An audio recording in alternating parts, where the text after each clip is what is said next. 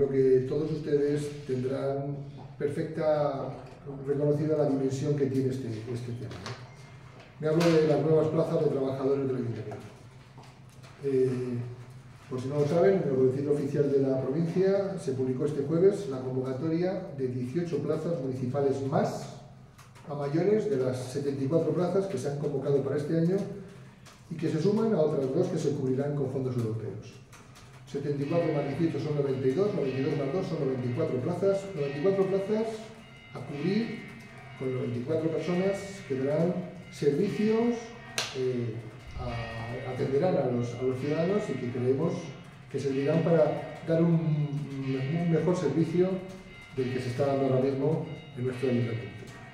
Eh, es, en, ese, esa idea y en ese sentido de modernizar y dotar a la administración local eh, de, personal que sirva para, para, retener talento y para atraer talento de esas personas que, que, quieren quedarse en Segovia y que pueden tener la oportunidad de hacerlo en este ayuntamiento. Ya les digo, son en total 94 plazas y les aseguro que cre crearemos más en función de las necesidades que vayamos detectando.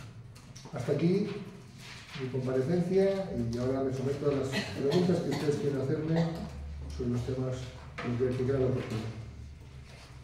Sí. ¿Nos puede ampliar algunas del módulo de atletismo?